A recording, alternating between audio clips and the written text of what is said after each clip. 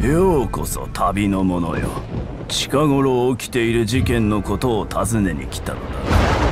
まったく妙な時代になったものだ。説明のつかぬ事態を人々は恐れているが私の領分だ。お前は答えを探し求めている。これがお前を知識へと導いてくれよ。このルーンはある古代の構造体から失われた部品と伝えられている。それは古の力を秘めた強大な武器として扱うに足る強者のために作られた。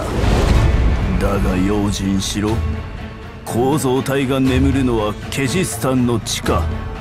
ゾルタンクーレの古代の宝石堂だ。構造体は数世紀にわたり守られてきた。クーレその人が設計した危険な罠と凶悪極まりない機械仕掛けの防護のもとに。だが設計者であるゾルタン・クーレは自らを過信していた。そのおごりゆえかの魔術師は創造物を放棄し自身の構想が闇に腐敗し宝石堂の力がいいように利用されるに任せたのだ。